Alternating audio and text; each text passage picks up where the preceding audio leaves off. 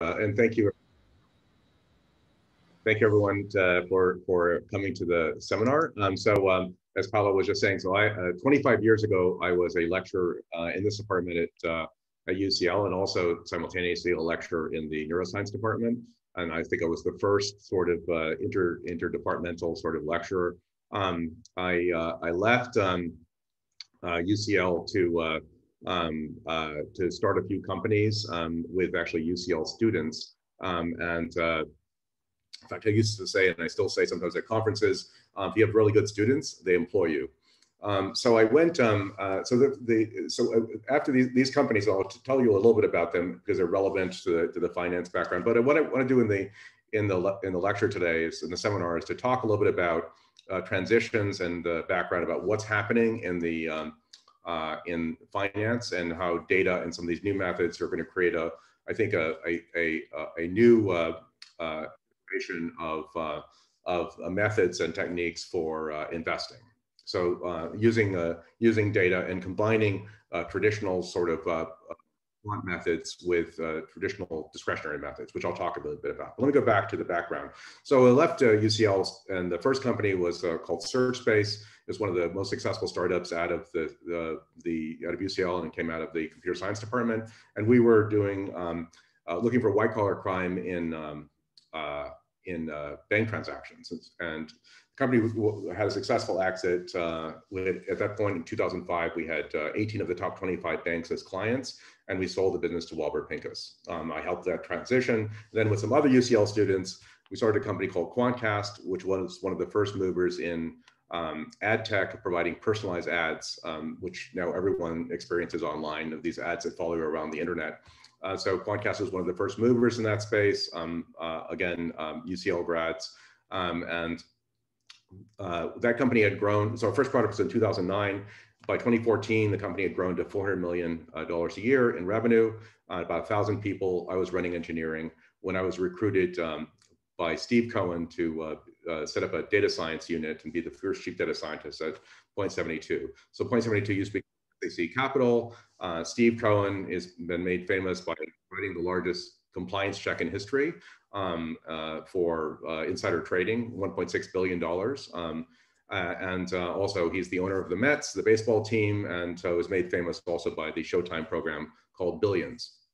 So I was the first chief data scientist there. And then I went to GIC, the Singapore Sovereign Wealth Fund, and I was their first chief data scientist. And then the last four years, I was the first chief data scientist at Neuberger Berman. So I spent the last um, nearly a decade in the finance industry um, using these methods. But let me just first explain why would Steve Cohen hire me to actually go create a data science team? And it's very quite simple because um, the ad tech uh, industry uh, developed a whole set of methods, computing, uh, machine learning, um, and uh, analysis methods that allow them uh, to decide what ad to show you uh, by analyzing this really messy unstructured data like your visit graph across the internet. So if I know what ad to show you, uh, I know what product you're interested in. If I know that across all products, geographies, and services, then I know which companies actually are winning in the marketplace um, because they have the most interest. And so if I know which companies are winning in the marketplace, well, I could either use that information to uh, sell ads, or I could use that information to buy companies.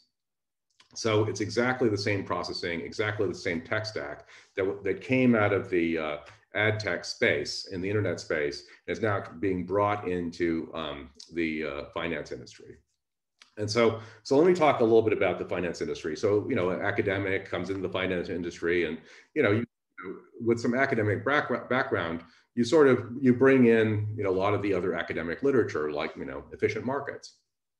And so um, so let me just talk a moment about uh, efficient markets. And so I'm sure you all are familiar with efficient markets. I like the joke version. It's easier to remember. The joke version of efficient markets is um, uh, um, Eugene Fama, who won the Nobel Prize for efficient markets, Professor Fama was walking down the road with another economist.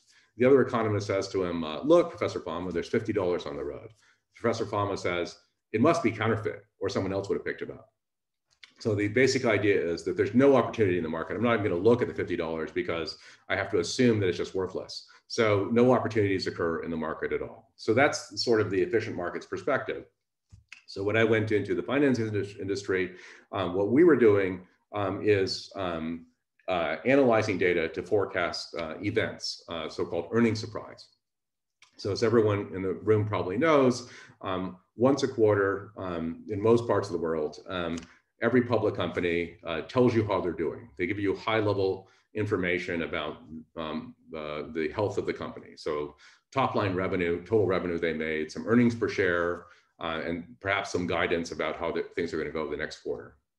So when companies announce their earnings, which is usually about you know four to six weeks after the end of the quarter, um, the uh, that's the largest liquidity point um, in any stock. So you have lots of shares uh, changing hands um, as you learn exactly how the company is doing. And not only that, there are uh, usually for most companies, the largest swings in the price of the stock occur at this point uh, of earnings surprise. So you ask yourself the question, um, how can the markets be efficient if every single time they report earnings, we're surprised?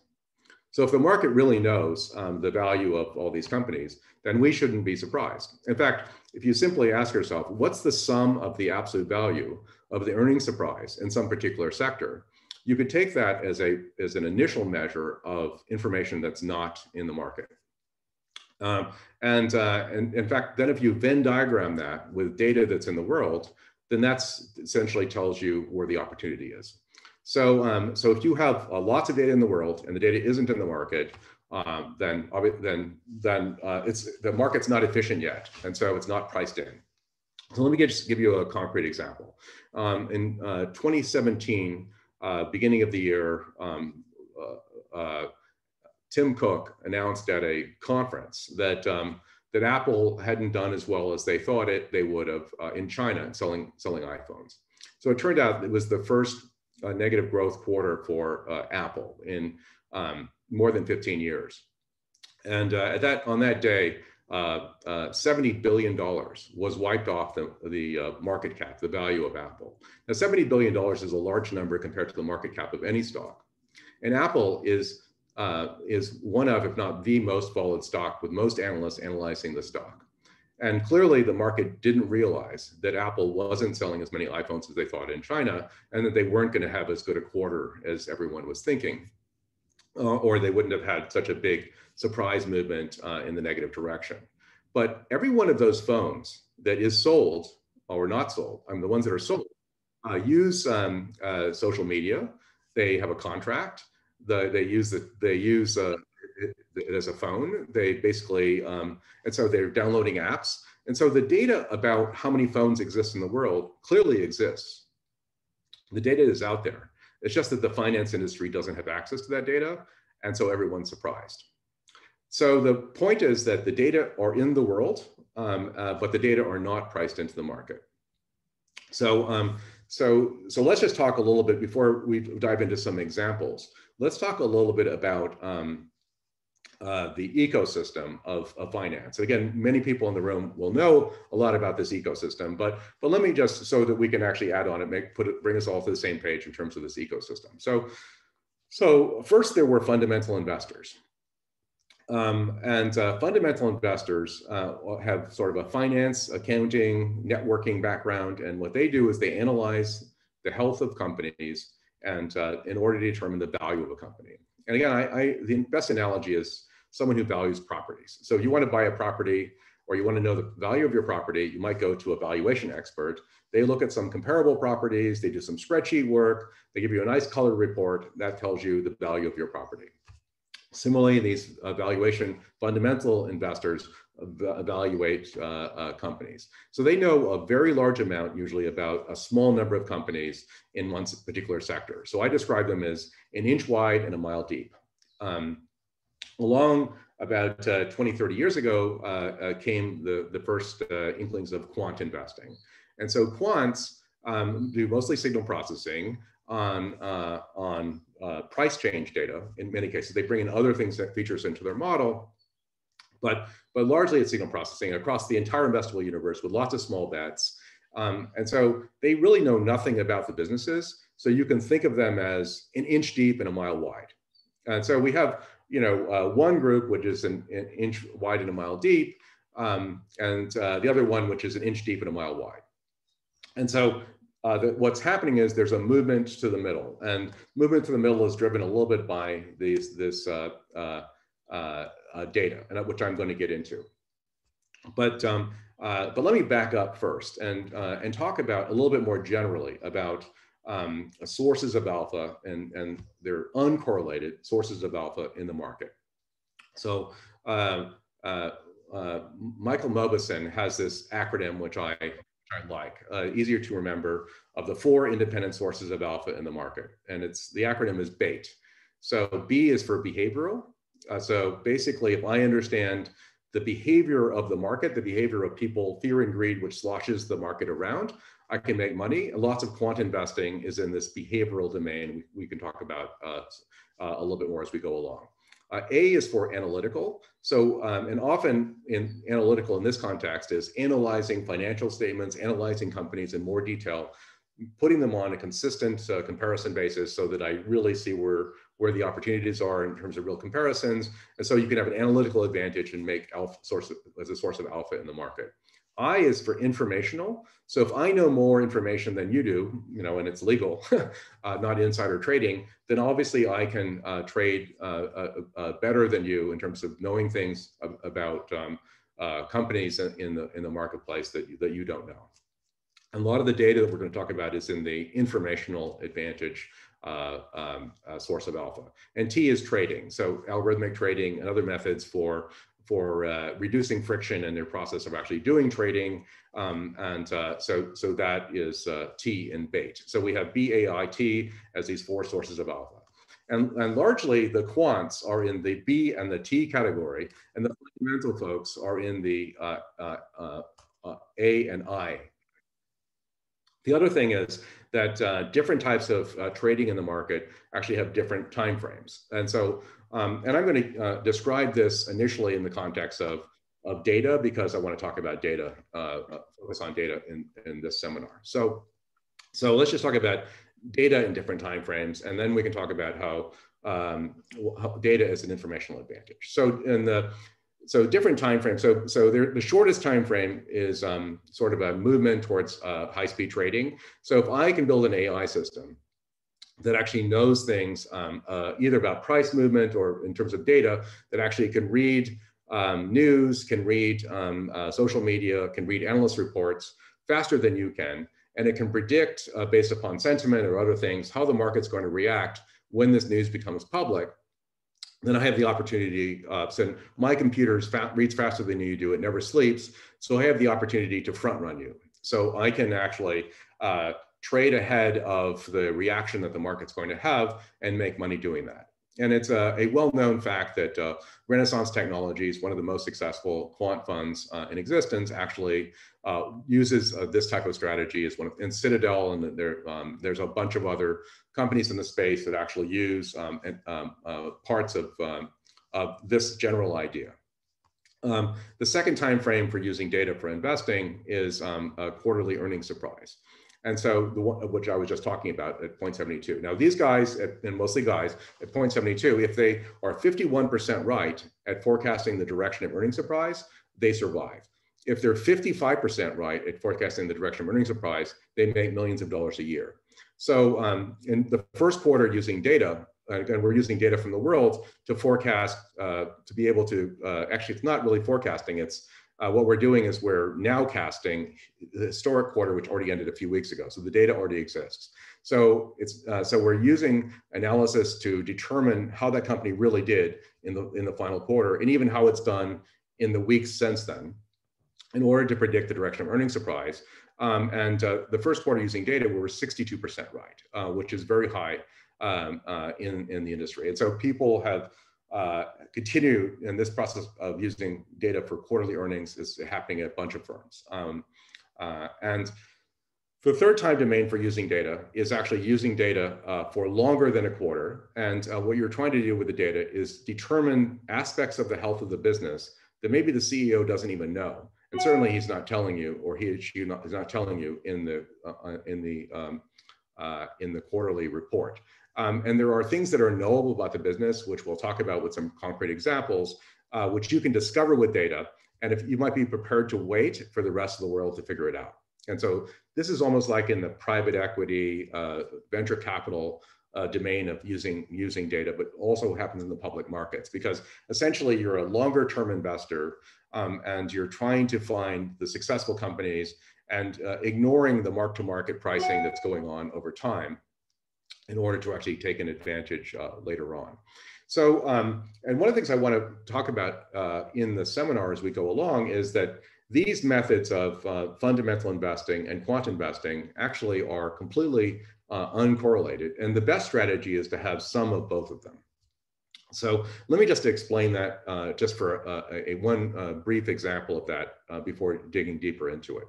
So one brief example of that is um, when you're analyzing, let's say trading, let's say event-based trading like at Point 72, then one of the metrics for event-based trading is uh, is called a is a hit ratio. So um, uh, and they, they love uh, baseball analogies, um, rounders to you. Um, and uh, uh, the baseball analogy is um, what's your batting average? And so what fraction of the time are you right at forecasting the direction of surprise? So I was talking about that number before in the 52 to 55% range for most of these uh, uh, investors. Um, but the another really important number is the uh, slugging ratio.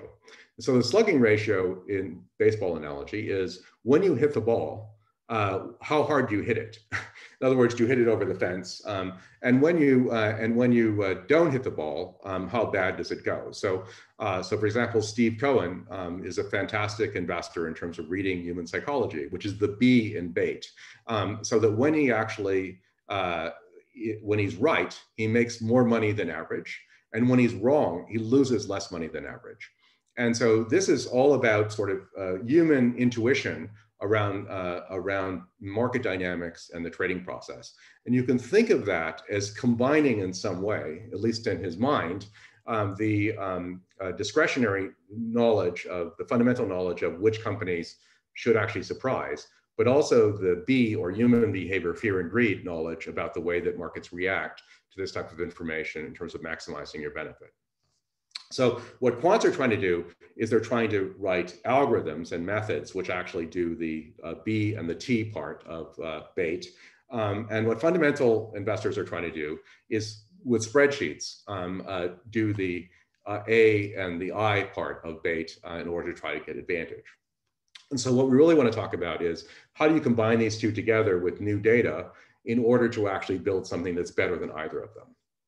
And so, um, uh, and the way this has uh, been happening is that um, obviously uh, with this internet explosion and with all these data that are in the world and everyone's talking about it, everyone wants to find ways of actually incorporating those data into their processes. But again, a lot of this this new third way of doing this is only uh, only in the in the last few years sort of developing. And and so and there are lots of people are doing it sort of in the poor man's version of it. So the poor man's version of of it, if you're a fundamental person, is to say, I need a data scientist. So I hire a data scientist straight out of college, and I tell the data scientist um, to go and scrape the web, get me the magic number, and then I'm going to manually type that magic number into my spreadsheet. So this is a fundamental person who's staying in their own wheelhouse and trying to actually act, still act like a fundamental investor, but trying to incorporate some new data from the world. And clearly that's not the right strategy. Uh, but similarly, quant investors have the, an equal uh, uh, sort of uh, bias. Um, so quant investors, so I have a friend uh, who teaches a, a, two semester graduate class at uh, USC. He writes textbooks on, on um, fundamental investing, and he has uh, like quant funds are paying them lots of money as an expert um, uh, expert uh, um, advisor. Uh, to and he asks, he, gets asked, you know, what what ratio, what what what fundamental ratio should I incorporate into my um, into my quant model? And he wants to tell him, look, if I could reduce it to a single ratio, why do I have to teach a two semester graduate class? because essentially quants don't necessarily want to understand fundamentals. They just want some advantage that they can actually put into their quant model. So the question is, what does this look like? So, so if I really combine the two together, what does this look like? And why is there alpha? And how much advantage uh, uh, could I could I get? Um, and um, so so so let's um, so so let's uh, uh talk about um, uh, what it could really look like. In order to really talk talk about what it could really look like, we have to think a little bit more about the way the success of quant investors, the success of fundamental investors, and where the opportunity really sets. And so, um, so again, when you talk to quant investors, they worry about uh, two things more than anything else. They worry about alpha decay, which is how quickly is my new alpha that I just found going to disappear. And they also worry about overcrowding, which is how many other people are actually have in their quant model this exact same thing uh, that they're trying to do. So you can think of um, quant um, uh, strategies as finding inefficiencies. I describe it as picking up shiny pebbles off the sand. It's just they're running around very quickly trying to find where these sort of shiny pebbles are that are actually really easy to get. Whereas fundamental investors are studying in great detail a small number of companies. So they're digging for gold with a shovel. And so they are so uh, they're actually, you know, they're getting some depth into the process, but but they're pro- they're using techniques which are are, are not uh, computationally uh, uh very very powerful. And so there's lots of gold that's buried under the ground. Uh, but basically, the quants aren't getting it because they're not getting deep enough, and they're always, always rushing around. And the fundamental guys aren't getting it because they're using the wrong tool set. And so this new revolution in uh, investing, which is driven by data, is going to be combining these methods in a way that allows um, the, uh, the real understanding of the businesses to actually uh, come about. So let me, let me now describe um, that in more detail.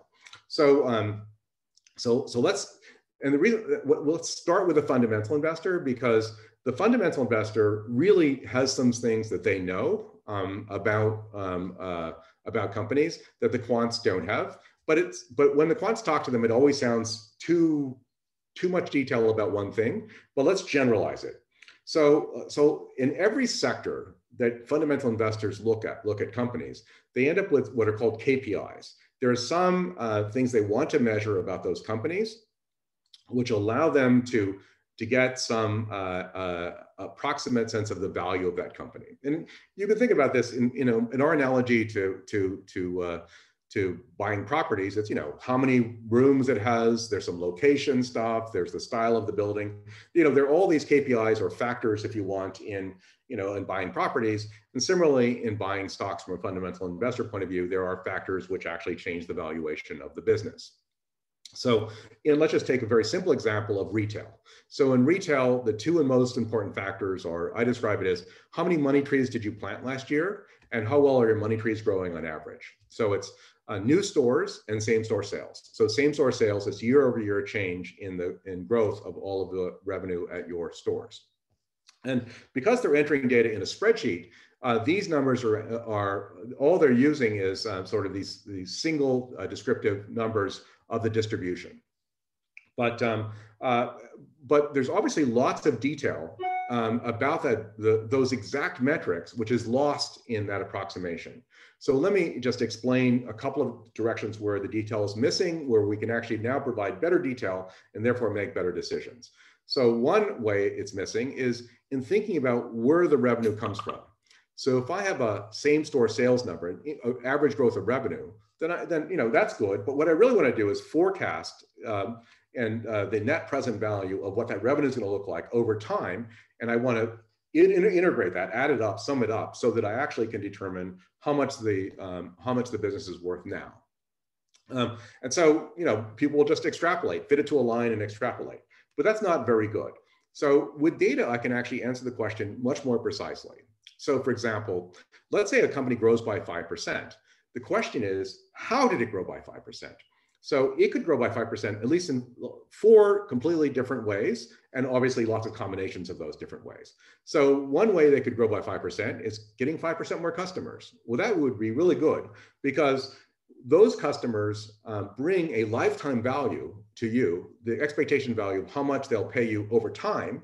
Um, and you're only getting one payment, one increment of that lifetime value. So when a new customer comes to you, you can actually feel happy that they will continue to pay you until they, they pay you the expectation value of their lifetime value. Well, that's great. Um, or you could get customers like at Starbucks to spend more money by having an app and reminding them to come back and so on and so forth. So that's more loyalty spend from the same customers. Now, if you get more, more loyalty spend from the same customers, you're using up the lifetime value potentially faster. It's a saturation function. It can't go on forever. It's a completely different forecast of what happens in the future if you're actually making money from uh, these loyalty payments. Or I could raise the price of a coffee and actually lose some customers. In which case, I only get paid once in this quarter, and my and my expectation in future quarters for how much I'm going to make uh, from these customers might decrease because of the fact that um, uh, I, you know, I'm disincentivizing some of my customers. And for example, Netflix, every time they raise their price, they lose a new tranche of customers. And so that affects um, uh, your ability to predict um, where their, um, the, you know, the revenue uh, is going to be in, in, in, future years. Now, the best form, the fourth form of, of getting, making 5% is actually selling to a whole new cohort of customers that weren't with you before. So a very simple example of this is uh, Lululemon. So they make yoga clothes. Initially, five years ago, they were making yoga clothes only for women. Now, five years ago, the CEO said, you know what, men are buying our yoga clothes. So we're going to start making some styles and sizes for men. So when Lululemon breaks into a whole new cohort, you know, selling yoga clothes to men, their growth is going to actually be much faster than linear for at least a, a short period of time until they until they um, um, they gain a, a, fixed percentage of that new cohort, and then it might slow down. And so your, your forecast for the future value of Lululemon um, is going to be a lot higher, um, given that they've actually started selling to a whole new cohort. So again, if I have data sets that allow me to break down the nature, in fact, to sum up the value of the business by the nature and characteristics of all the customers of that business using a computer, then basically, then my ability to forecast the future revenue of that uh, business is much more precise than it would have been um, just with a discretionary investor using a spreadsheet. So let's take it another step. So let's go back to their same store sales. And so the same store sales is the mean growth per store. Well, some businesses are really good at selecting locations and setting up stores, in which case maybe the, the standard deviation of that distribution across all their stores is actually very small. But some businesses are really bad um, at um, uh, picking store locations. And so the mean might be a very bad uh, descriptive statistic of the distribution. And so, um, so with data, we can actually build the entire distribution. So we can actually see how well the whole set of all stores do for every stock, for every business. And we can do it simultaneously by just using this uh, computing. So essentially, we can actually increase the magnification or increase the resolution of exactly the questions that um, the discretionary investors were wanting to ask, but across um, the entire investable universe simultaneously. So, so what you can do is essentially build. So, where a fundamental investor might build, you know, uh, spreadsheet models for for 30 to 100 companies and update them and monitor these companies carefully day by, uh, you know, throughout in full a full time job. Using a computer, we can actually build a large scale model in higher resolution of the entire investable universe at the same way, in fact, in more detail than a fundamental investor would would do.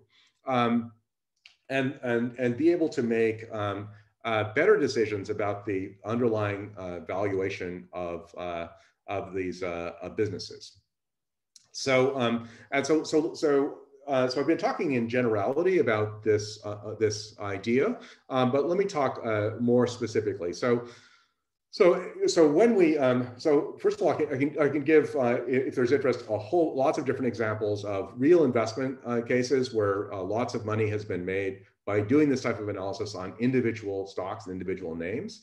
And so, a lot of what I've done in the last seven years is actually uh, uh, helping investors who have a specific thesis and gaining uh, data which would actually help them test and evaluate their thesis and get some alpha advantage of uh, for that investment. And I, again, I have a, lots of examples of that. But the but what I'm doing now is actually doing that at scale across the whole investable universe uh, because it turns out that the KPIs uh, by sector are largely the same. The methods are largely the same, and the data sets are largely the same. So a large fraction of this actually can be done simultaneously across um, all the stocks. So, so, so imagine if you have, instead of having, you know, 30 uh, uh, uh, financial models, you have uh, 4,000 financial models, uh, which are actually are more granular. Then you can ask questions of um, which companies have the most exposure to interest rate changes, which companies um, have the most opportunity to growth in terms of the incremental uh, the profit they get uh, for for incre- for for uh, divided by the expense they, they need to to make to, to grow the business a little bit. So where is the opportunity for growth? Who has the most turns of debt? And uh, you know all sorts of questions you can ask you know, about competitive dynamics of, of, these businesses and so on and so forth. And so so essentially by building um, uh, uh, quantitative analysis type processes but actually which are much more which which are tailored to the fundamental characteristics of the business um, instead of actually just tailored to the uh, just looking for the uh, looking for uh, the uh, uh, easy sources of uh, easier sources of alpha. So so let me, let me try to make this comparison a little bit more clear in terms of quant versus fundamental. So I'll, I'll give you an example of a data set, and so also happy to chat, um, answer questions about these data sets and what type of data there are and how these data are used. Um, and a lot of the, the tricks are actually in how you process the data. Um, and there's lots of machine learning methods involved in this too. Happy to talk about those. But let me just give you an example and to try to con contrast this point, the point I'm trying to make about how fundamental um, investors think versus how quants think about the same data set. So one data set which both types of investors like um, is, um, uh, um, is Glassdoor. So, uh, so Glassdoor is obviously a website where employees can actually either praise their business or they can criticize their business. And so it really isn't very good. If your employees are all criticizing the business, it's not, not a particularly good um, uh, for the business. And in fact, you know, firms are now hiring PR firms to try to, uh, to try to um, uh, help uh, manage their Glassdoor image, um, you know, uh, uh, in whatever ways you might imagine that happens. But let's just talk about quants versus fundamentals for a moment. So, um, so a quant says, okay, look, um, I have a whole model. It has lots of different data sets in it. And the, and, um, but um, Glassdoor looks interesting. So what I'm going to do first is I'm going to take the Glassdoor data, I'm going to um, uh, normalize it, remove outliers, sorry, remove outliers, then normalize it. And then I'm going to uh, take the the top quintile of Glassdoor ratings and go long, and the bottom quintile of Glassdoor ratings and go short, ignore the middle uh, three. And I'll backtest it over time and see if I use this as a strategy, if I would have made money um, in the market against all these companies that have Glassdoor ratings and um, you make a little bit of alpha.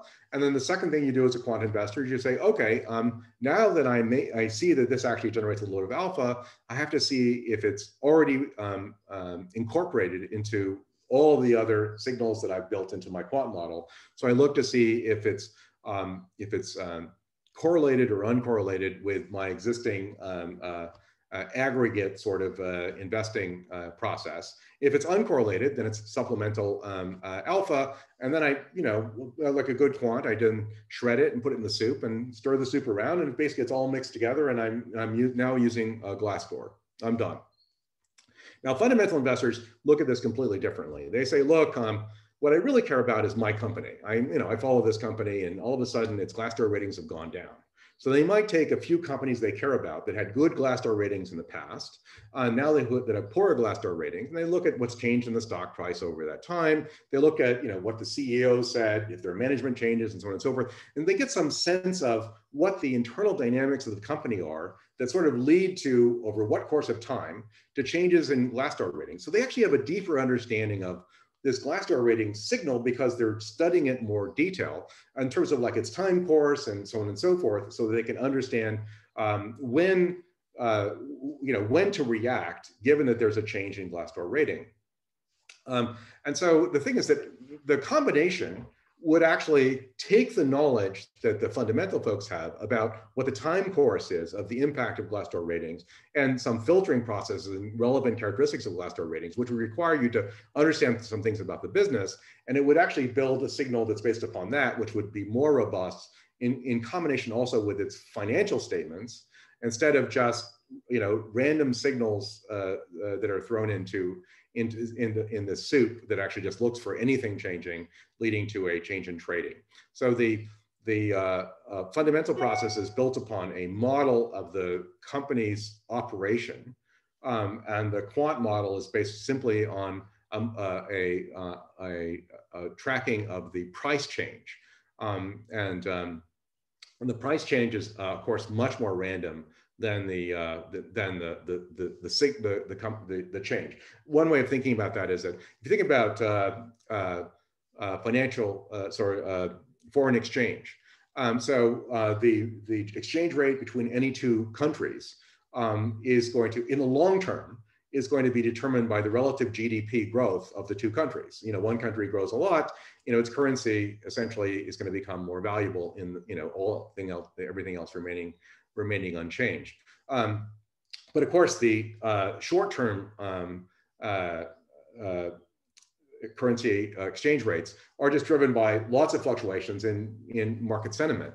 And so, um, so, so, so these two, these two, two, two worlds, again, one of them is much more long-term and much more fundamental based. Um, and there are only, there are certain regimes in the market where fundamental investing is actually useful. And of course, it's not a trading strategy by itself, knowing the valuation of a company.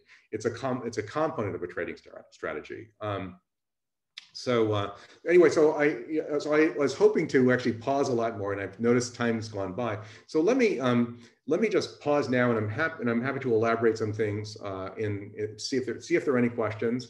I covered a fair bit of uh, sort of at least um, framing um, in, uh, the, in this initial sort of 20, 25 minutes.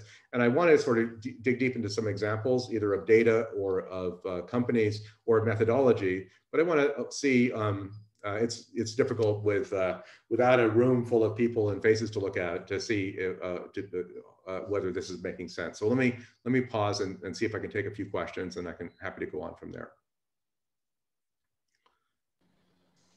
Thank you, Michael. Yes, uh, it's a, probably it's a good time for questions. Um, yeah, I guess, I guess, now there would be time for questions uh, mainly. Uh, and for the next uh, 15, 20 minutes, we have time uh, for questions. Uh, I don't know if you have a, a, other part of the presentation after yeah. that, but yeah, no, we, we yeah, yeah, we, questions. Yeah, yeah. We sure. roughly allocate one hour in total for the seminar, not, not more.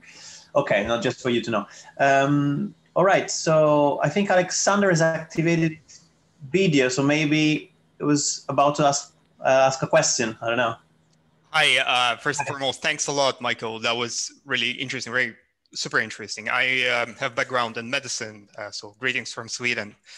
Um, I kind of have a set of questions uh, in relation to the process, how you actually do these assessments, because um, I do quantitative analysis, uh, analysis of the price action most of the time. So actually the fundamentals part has always been missing. And, you know, I usually do that manually applying like, you know, traditional models like VSEAM, CanSlim, GARP. So I was just wondering how you do that practically, whether you also combine that with more traditional methods of fundamental analysis, like value analysis, you know, like applying these models in a more quantified way um, instead of just kind of setting them manually in Finviz. So that's, that's the, the question I wanted to ask. Yeah. Thanks. So, so let me tell you. So I have a.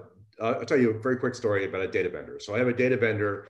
Um, they're actually called uh, Canalyst, Canadian Analysts, uh, and they're in Vancouver. And what they do is they provide spreadsheet models to fundamental investors. So most fundamental investors build their own spreadsheet models, they're all bespoke, and that they want to compare it to some sell side model. They can't because they don't line up. They send it to India or somewhere, someone lines it up for them. So Canalyst says, look, just start with our boilerplate and here's an overlay mechanism so you can add your differentiated view and you just push a button and all the new numbers are actually put there. We have, you know, 200 analysts who actually go and, you know, uh, go and check these things to make sure they're, they're okay. And they, they provide that as a service. Now, five years ago, they said, gee, you know, maybe some quants want this. And so some quants said, yeah, I want this ratio, I want that ratio. I said to the CEO, we want everything.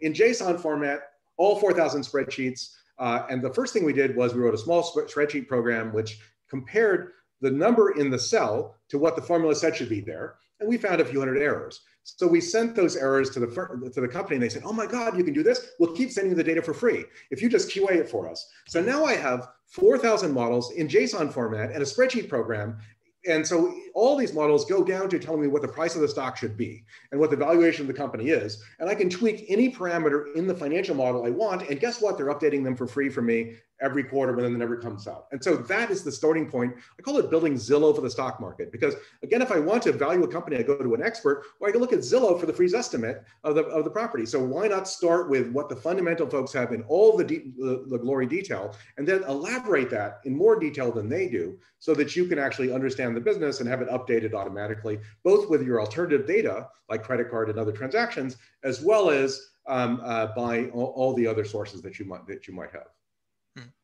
Thanks. Yeah. Uh, thanks, Michael. Um, I had a question. I was wondering about how you get all this data. Um, is it kind of just Chase and credit cards? What happens if people are there and they're not they don't bank with Chase? Um, then where are you getting it? And it it just feels like there's always more data. Just is it necessarily tracked? And maybe in the future it will be. But I walked past Lululemon on the weekend. There was a big queue. If you had access to the CCTV, you might be able to see that there was a big queue. That, but well, would you? Are you going to get that data from the council? I, I don't know. So it just seems that a lot of this data is quite hard to get, and that's probably why it's not in the market, and that's where the edge comes in. Well, so so the answer to the question is uh, it's actually relatively easy to get if you know where to get it. So uh, so uh, so, so um, uh, uh, you probably in the UK you've heard of the network called Three. Um, so um, so Three network, um, all the location of those uh, three network phones is sold by CK Delta, um, and um, CK Delta, you know, like all these other data vendors, are challenged to try to find how do I sell this into the market. Um, and you know the way I describe this, so I left the buy side, and um, you know it's like leaving the government. All the lobbyists want to hire you. So I left the, and so all these data vendors, they they basically, you know, also uh, thank you AWS have given me infinite free compute. Um, so I have um, a some infrastructure in the cloud. All these data vendors just load the data in the cloud uh, for me with at zero cost uh, because I'm helping them build new channels for selling their data. And so a quick example of uh, so if the weather is nice, people go shopping. If I have cell phone locations, I know they went shopping. if I have credit card transactions, I know how much they spent. So credit card transactions are generally the best. Uh, quick story around credit card transactions. So uh, when I went to Point72, they were buying a panel of credit card transactions. Now there's a, companies that do infrastructure support for banks. So it's not buying it from Chase. It's actually, they're providing infrastructure for all these banks and they get a copy of the data for free. So one of these companies, the first mover in this space is called Yodlee. They're in Redwood City. Um, and they basically, um, so they get uh, data from uh, lots of banks and they sell it. So when I got to Point72, they were buying this data. It was a, a one and a half percent of US credit card spend, about 4 million card holders. Um, the cost was about million and a half um, uh, a year, which is a lot. Um, uh, but I wanted more and they were badly sampling the data. And so we bought everything they had. I can't tell you the price, but it was a very large seven digit number. Um, and um, and so, but when I got into my new business, I said, look, I want the same data. I'll pay you maybe a half a million. They laughed at me like, why would we ever do that? I said, well, here's why. You're going to delay it by a month because all of these asset managers and, uh, and PE firms and stuff don't want to compete with the, the big hedge funds for price. And they don't care if it's a month delayed. Uh, and so uh, I helped them build a new channel for selling their product. And now we have a lot of this credit card data for free because I'm helping build other channels for these vendors. So it turns out the data is really easy to get because the vendors are trying to find the pathway into the market because they don't know how to sell it. Um, and they don't know what the use cases are. And so if you help them with the use cases, they will gladly let you um, have access to their data um, uh, uh, for free. And there's just use advantage. The other thing is the largest source of data, which you know, university uh, folks have access to, which lots of funds worry about compliance, is scrape data from the web. There's so much information on the web about everything. Um, and, you know, I see these analyst reports where they're talking about, gee, we're surprised about this. I said, I'm not surprised at all because you can scrape that information straight from the websites. So, um, so there's still lots of analysts who don't know how to go and get the data uh, from scraping online, who are completely surprised who are leading analysts for stocks when the data is actually just right there and available just for a little bit of scraping. Uh, hello, Michael. Can I ask you a question? So you, Michael, is, uh, is yeah, in fact, is um for for the fundamentals, you know, the the long term investor. Usually, they know they use the fundamentals, follow the company for a while, you know, know the, the company well before they know uh, uh, doing some, uh, you know, uh, significant investment and keep usually the shares for long time, like 5, 10, 20 years. And, uh, and, and in the quantitative side, I think uh, it is more short term or even instantaneous. Okay, so I don't know uh, if in the quantitative side we try to predict predict something for the next three, four, even five years. I think it's quite hard. And how can we combine these two? You know, what is more long term? I say even more than ten. And yeah. you know, me, I'm a, I'm a quant, uh, uh, pricing options.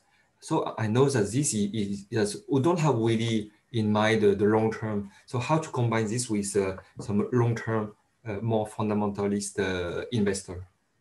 Yeah. So um, so the answer is that um, well, so fundamental investors. I mean, the PE firms, uh, VC firms might actually invest for five years or more like that, or 10 years. But but basically, most even PE firms, it's like three years and I need to see some result, right? And so um, the um, uh, and and and the fundamental investors like we're trading on earnings surprise, it's one quarter, right? And so um, and the, and the example I was trying to give uh, with earnings surprises. So let's say I know, uh, let's say I know 62% right, my batting average in terms of predicting the direction of earnings surprise. So then the question is, uh, it's a market dynamics question. So you know. Um, if I drop a rock into a into a into a pond, there are some ripples that occur, and those ripples are relatively predictable in terms of the way the market's going to react when, depending upon the on the on the volume as well as the amount of these ripples that actually occur in the in, in the market. And so, you know, so uh, as I was saying in my example, Steve Cohen, for example, is super good at being able to read um, the way you know the way the market's going to react. So when this reaction happens, either it's surprise up or surprise down, if you actually can trade manually in and out of that, then you can actually maximize your advantage. But if a person can do it, a computer can do it too. So, so you could train a computer so that it trains, it trades on the surprise. Initially, where the batting average is determined by data, but the dynamics of the way you trade in terms of uh, liquidity and so on and so forth, in terms of the way that the price is moving, um, then are based upon um, an algorithmic process, which is actually a completely quant. You know, and you know, and so and so I think that you know that's an example of how you uh, combine it together. Another example is, you know, um, what what do you do? So what um, people who trade on events often do is they don't want any market risk. They only want to position their bet right before the print of the new earnings. And so what happens in the rest of the quarter? Well, the rest of the quarter, there's also lots of things going on with the stock, which are actually shorter term dynamics of the stock. And so you can use the money. So, so these, these quarterly uh, event based traders, they get out immediately. They get in right before the event, they get out right after the event. And so during the interval between the events, they could be using quant strategies to actually um, uh, benefit from other market fluctuations that are occurring outside of these uh, data driven uh, surprise uh, movements that occur um, in the earnings process. Okay, okay. thank you. Thank you. I think uh, Alexander has another question for all people that are asking questions. Keep in mind that this is recorded, so and so I would like to ask your your permission to uh, upload online after the seminar. So so if that's all right. Um, so Alexander, do you have another question? Yeah, it's a quick one. Uh, Michael, I was just wondering, do you see a lot of value in um, social media scraping because um, I've been experimenting that a little bit with paper trades with some mixed results. And so, I mean, it doesn't really fit my trading style. So usually, you know, this is, it seems to me like more of a lagging indicator, but I just find it interesting to follow. And um, I was just curious whether you see much value in that and do you use that in your strategies? Yeah, so I think the, uh, I mean, obviously, uh, the, the big challenge with almost all data sets, and certainly this is true in spades with social media is it's all power law Pareto sort of distributed. So you end up with some people, you know, tweeting a lot or posting a lot and so on and so forth. And and so I so I think there's lots of uh, this strategy which involves in how do you uh, how do you leverage a data source, source which actually has this power law characteristics? Um, um, but again, the other thing I would say about social media is it's in the in the B category, not in the A or I category. So you can see it's sort of informational, but largely it's a behavioral thing. It's a sentiment type of signal. So, so it's more of a quant related uh, uh, co contribution than it is informational. So, but there is an informational. So, so people will tweet that I've just, you know, I'm, you know, you can get some demand for, for a product, which could be a leading indicator. So we also look at Google Trends and other things like that, which are sort of brand awareness. So if you look for someone searches for a category like batteries, they don't really care. If they search for Energizer, they care about that particular brand. And so there's some brand awareness that you can get also from social media stuff. And you know, and lots of uh, businesses are driven by the relative difference between the generic uh, cost and the cost the, the, for their brand. And, um, and a lot of that's eroding, by the way, for a whole bunch of brands. Whereas some brands still have a mystique. You know, Energizer is one of them people still believe in the Energizer Bunny, um, and so so there's some mystique that's associated with it, and so you want to track that. Um, so so I think that there's definitely information from um, from uh, uh, social media, but it's not as valuable as you know job listings, uh, job postings, um, you know cell phone location, you know uh, credit card transactions, you know uh, shipping and stuff like that, which are supply chain indications. So again, mostly what I'm interested in is uh, real measures of sort of ground truth. Yeah. And just to say one more quick word about it is, you know, you know, one of the things that fundamental folks are really good at, they say you can't replicate, is that they can read the body language of the CEO. And so fundamental folks, well, they want some data so they can ask hard questions, because if the CEO is cagey about it, then they they sort of know what's true and what's not true. And there's this great book about Google Trends called Everybody Lies. So what they tell a survey is one thing, what they tell type, when they type in Google is another thing.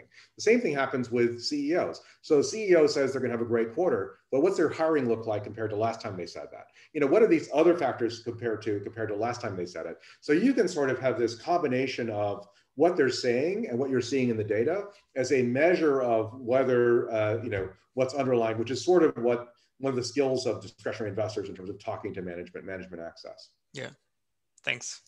Yeah. Um, I, I just wanted to quickly ask, what, how long do you think this is going to last for this informational edge? That you say that you managed to get the price down to quite cheap for the original data set uh, in that example you gave.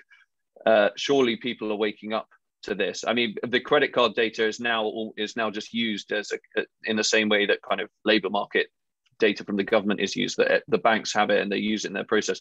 Surely everyone is now going to be tapping into this. How long is this edge going to last, do you think?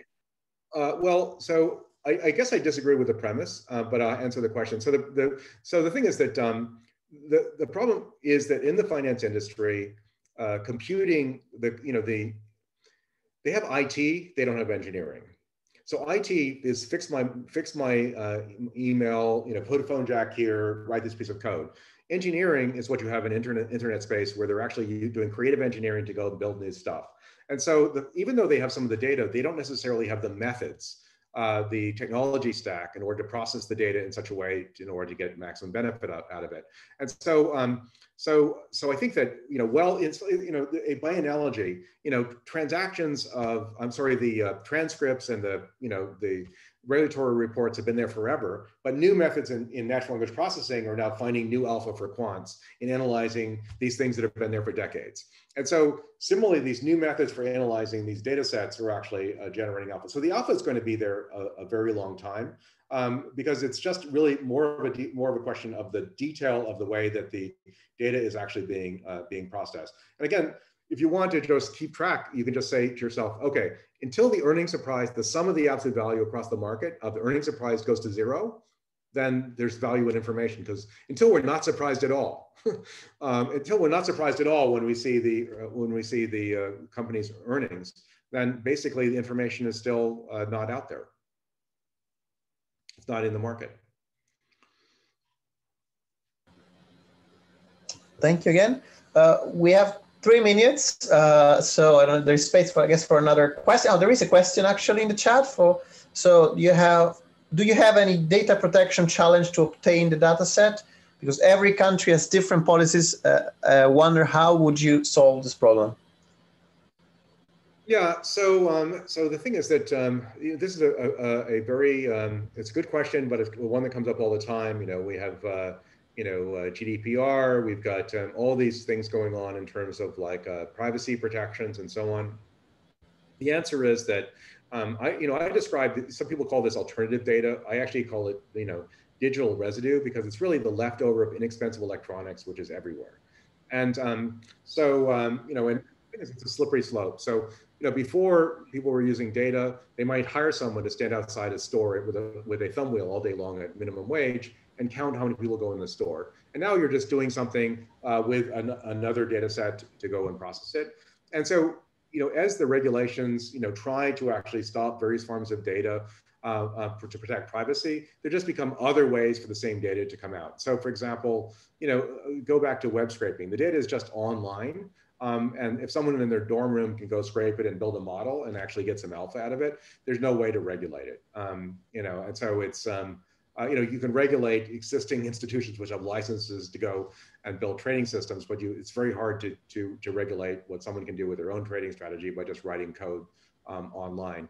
So I think that the, and there's so many ways to actually see the same thing on data that, um, uh, that uh, I, I, really don't think uh, that uh, regulations are going to stop the uh, flow of, of data into market and trading strategies.